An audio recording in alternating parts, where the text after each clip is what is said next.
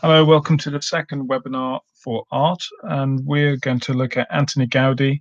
Uh, I'm going to talk you through uh, some of his famous architectural designs, and then also we're then going to talk about how you could actually develop your own designs and thinking about the kind of decoration that you would use on them.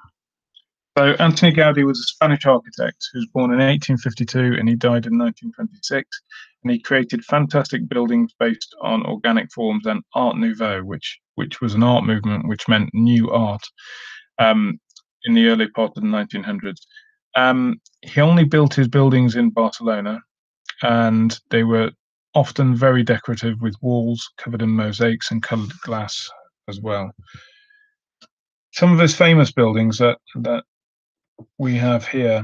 Uh, this is probably one of the most famous. It's a cathedral called Sagrada Familia, which is in Barcelona. And the most stunning thing about this is the fact that it is still being completed, even though Gaudi died in 1926.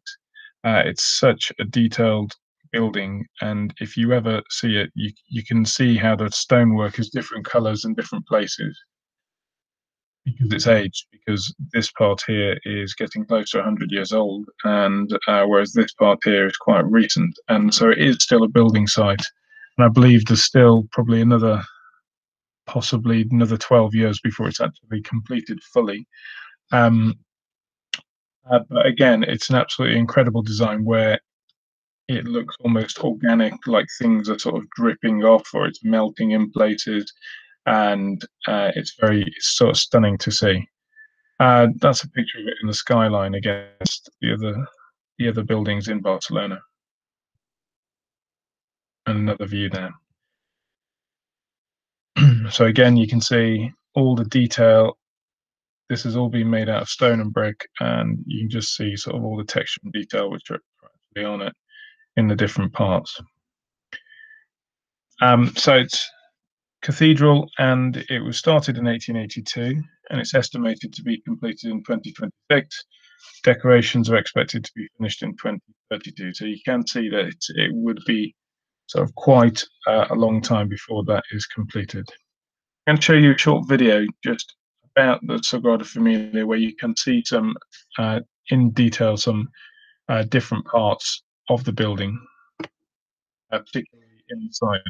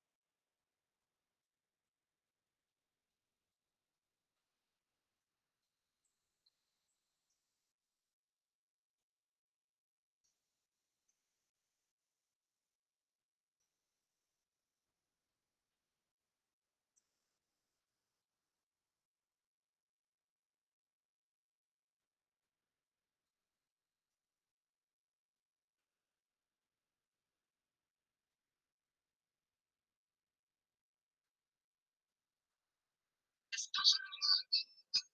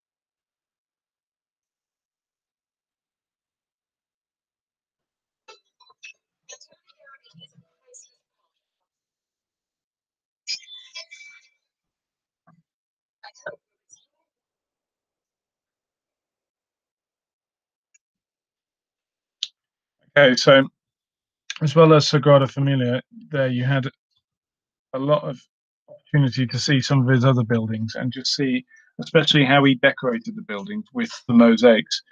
And so, as the man said in the video, that they're made up of lots of different tiles and ceramics and plates and a different source material like that.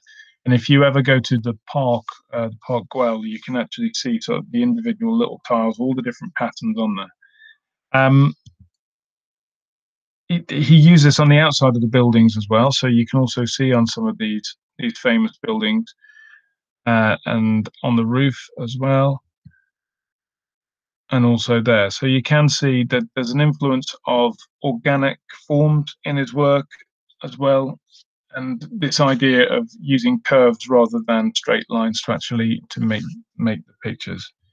So in school and in the work that we set over the, the lockdown period, we did look at how you could create your own design inspired by natural forms. Now, the idea is not to make it look like there is uh, an item of fruit or a vegetable stuck on top of a building. It's to use that as a starting point and then to develop that further into a structure or something that would actually work and as with Gaudi's, as with the, the, the building where it looked like it had a dragon on the roof. It, obviously, it wasn't a dragon, but it sort of invokes that in the shapes and the patterns that were on there.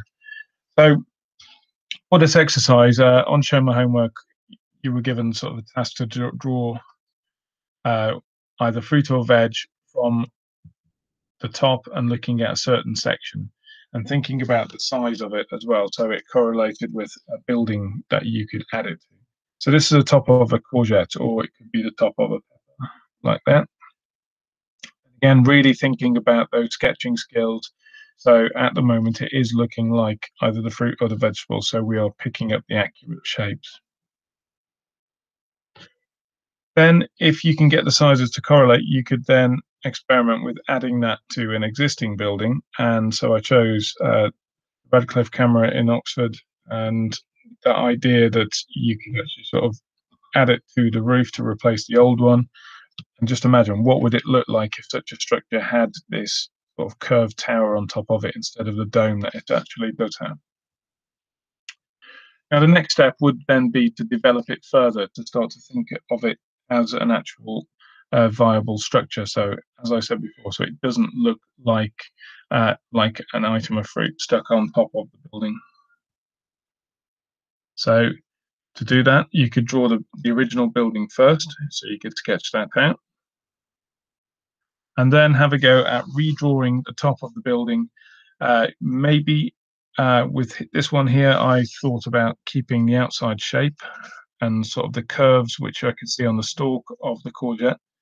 Uh, but then actually starting to imagine how would it look like if it was a natural structure. So, for example, I thought the flat roof on top of that stalk wouldn't quite look right, so I added uh, the pointed roof to it. And then I also thought about what did those curved sections here on the stalk remind me of, and I thought about could that be like stained glass? So imagining inside here would be like an empty dome, uh, an empty area, and the again, you'd have the effect of all the different coloured light shining on. For the outside of it, you could think about how Gaudi uh, decorated his buildings using mosaics. Um, and that could be another possible thing that you could go on to design. Okay, so that is how you can actually start to use organic forms to inspire your designs, not to just copy a design exactly